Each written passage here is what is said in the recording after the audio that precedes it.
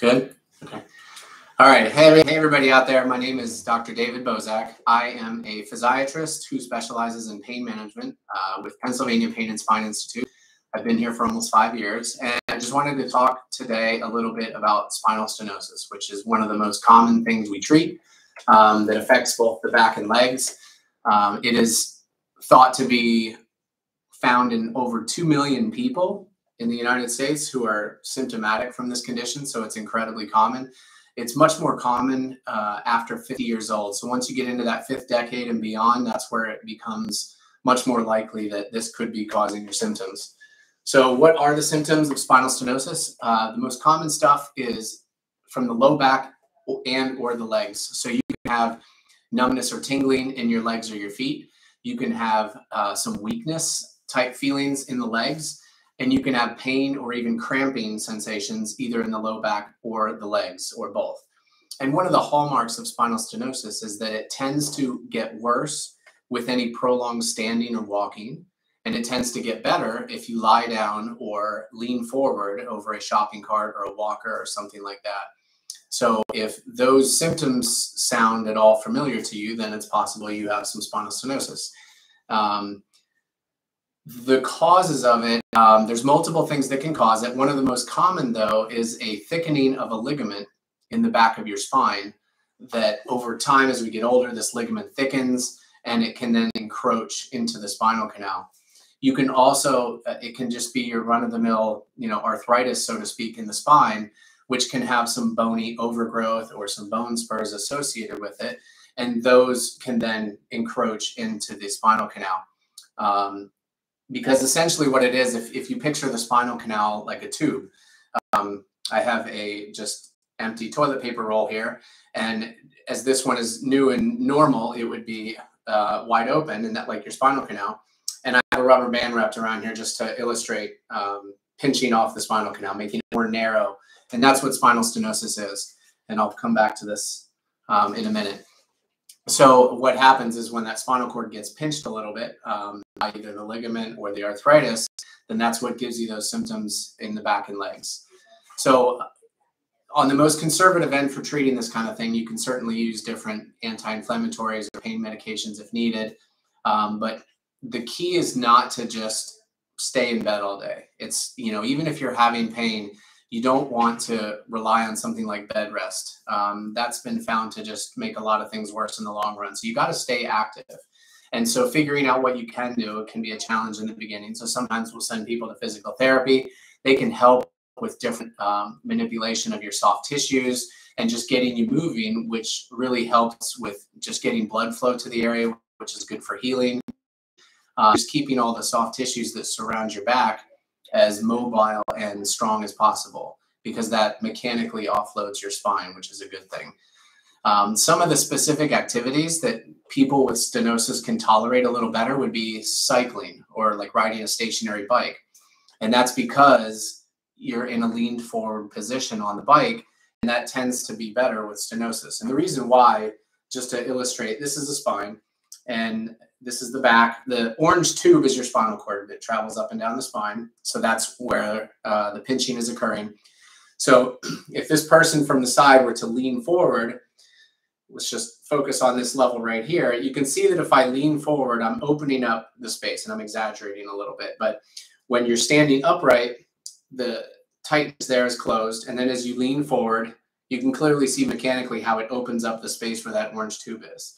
And so that's why if you're leaning forward over a shopping cart or a walker, or if you're sitting on a bike, you're leaning forward, the stenosis is relieved a little bit just by that leaning forward. So doing uh, exercise on a bike can be help, a nice way to just stay active while you're getting treated. Another thing is uh, walking uphill. When you walk uphill, you tend to lean forward a little bit just to because you're walking uphill and that that is for the same reason would you might be able to tolerate walking a little further now obviously if you're outside if you if you walk uphill, you're gonna have to walk downhill at some point, which is probably gonna make it worse.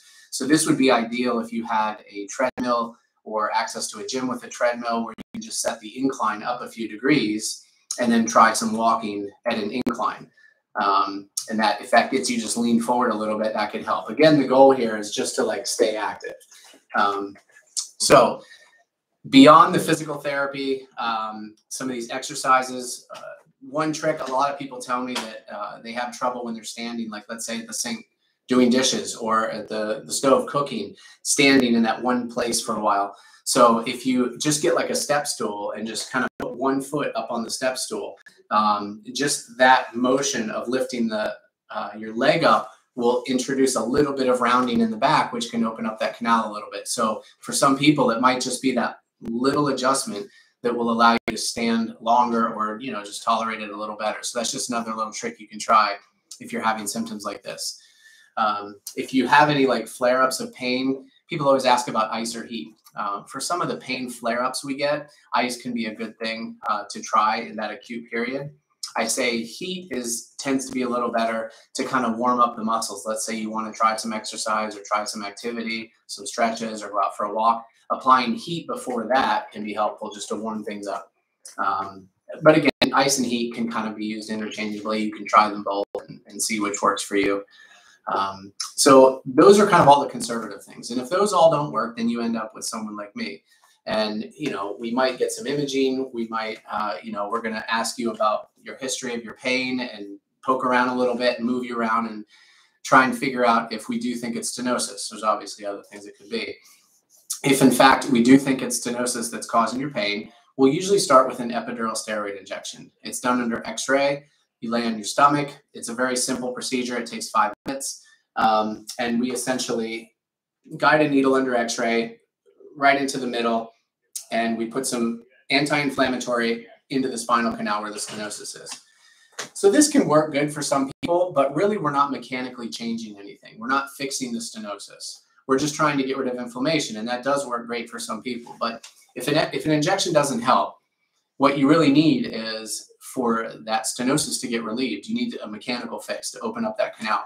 Traditionally, in the past, you would have had to go to a surgeon, and they would do a big surgery where they would, you know, make an incision and they would take out bone, and it's, you know, there was a big recovery afterwards it's a much bigger much bigger commitment to try and decide if you want to do that so there's now something in between that really is not much more invasive than an epidural injection. And in the studies, it's actually just as safe, and it's called the MILD procedure.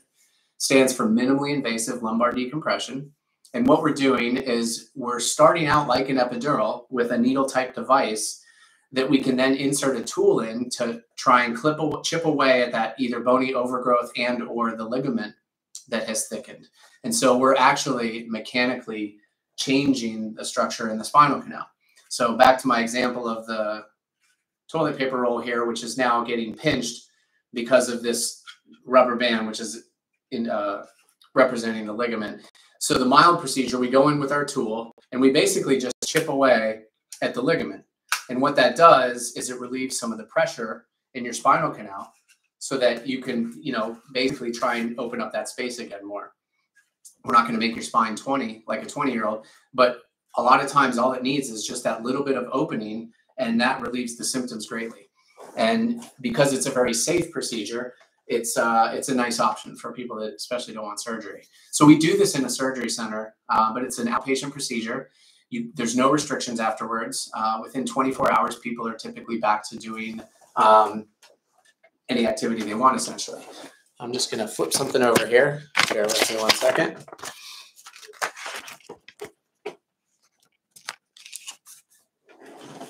So essentially with the MILD procedure, they did a study that lasted over five years, just looking at patients who had it done. 88% of them were able to avoid surgery. So that's that's almost nine out of 10 patients were uh, able to avoid surgery. That's which is awesome. There's no implants with the MILD procedure. So you, there's no hardware that's getting put in you. There's nothing that's getting left in you. Um, it's all done with these instruments. Uh, and, and, the fact that there's nothing put in you is, is a nice plus to it. So it doesn't actually change the integrity of your spinal canal at all. We're not taking bone out um, like a surgeon would do. We're just kind of chipping away at some of these things, which doesn't change the integrity of it. Um, the biggest functional improvements they saw after the MILD procedure were an increase in standing time and an increase in walking distance, and they were dramatic increases and function is really what I like to look at the best because um, I like people to stay active. And so my goal is always to keep people as active as possible doing what they want to do. and it's safe. So that on the flip side of things, you want to make sure any procedure you undergo is a safe procedure. So over that five-year of study, it was shown to be just as safe as an epidural injection. So that's pretty convincing. Um, again, you have no restrictions. You can essentially resume normal activity by the next day, which is amazing.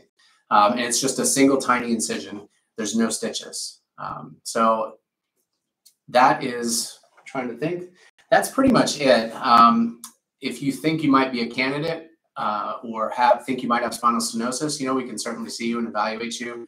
Um, but it's, it's just great to have uh, tools available that we can help patients without doing these big surgeries and getting them back to doing the things they love. So if you have any like any specific questions, um, feel free to comment in the in the chat. Um, or you know if this is posted later and you're watching this later um, you know you can always give us a call and just come in to see us. So is there any questions that you see well one question we had over the weekend um, from a patient was if someone has spinal stenosis and scoliosis are they eligible for the mild procedure? Okay should i reread that or do you think they heard it so the question was if you have both spinal stenosis and scoliosis are you eligible for the mild procedure um, and the answer is yes certainly there's different degrees of scoliosis. Most people that have scoliosis, it's, it's certainly not bad enough that would affect our ability to do the mild procedure at all.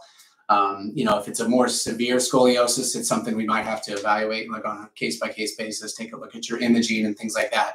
But for the most part, that shouldn't be a problem. Um, and then another question we had before was typically how long do patients get relief from the mild procedure? So the question is, how long do you get relief from the mild procedure? you know, everybody, whenever we do any injections or anything, people always say, how long is this going to last? And it's, you know, it, it is very difficult to predict because there's such a wide variance in people and what their back looks like. And, um, you know, the difference between a 50 year old with just mild stenosis versus an 80 year old with severe stenosis, you know, so it's tough to generalize these things. Most people that get the mild procedure, if we, once that canal is opened up, they should be good for a long time, potentially more than a year. It's it's just a matter of stenosis is a progressive disorder, so it certainly could progress and come back at a later date. You also can have stenosis at other levels. So let's say we fix one level, you may become symptomatic down the road from another level, in which case we can just go back and do the mild procedure at another level. Um, so it, it is very hard to predict, but you know it can be anywhere from six months to a year or even multiple years.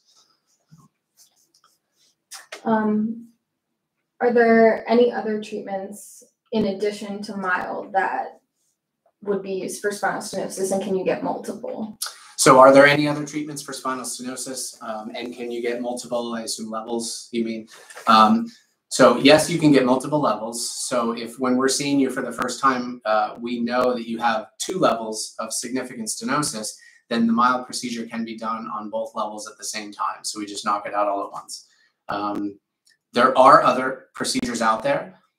Uh, obviously, surgery is one that I kind of briefly talked about. There's another procedure called the Vertiflex procedure, which is very nice for select patients. The main difference with that one is that it, there's hardware that's impl uh, implanted. So it's a little device. Um, it's essentially inserted in between two of your spinous processes, these bones here, and it just mechanically opens up, puts puts that little bend in your spine to open up the canal. Um, but then you have that piece of hardware in there that, that's left in there that's surgically put in. So um, it's slightly more invasive, I would say, just because of that. But it, but it is another good option for the right patient. Um, and how big is the incision so in terms of surgery for the mild? How big is the incision for the mild? So it's maybe like quarter of an inch. Um, it's it's literally just a little poke with a scalpel to just make a that tiny incision, and that's it. Um, it's not even big enough to require any stitches, which is nice. I mean, there's you get a band-aid at the end, so it's it's it's very small. No more questions? Okay. All right. So um, again, if you do have any other questions, if you're watching this later, give our office a call. Um, any of our doctors uh, know very well about this procedure. We'd be happy to see you, answer any questions, determine if this might be right for you. Um, otherwise, thanks for tuning in and watching. All right. Bye.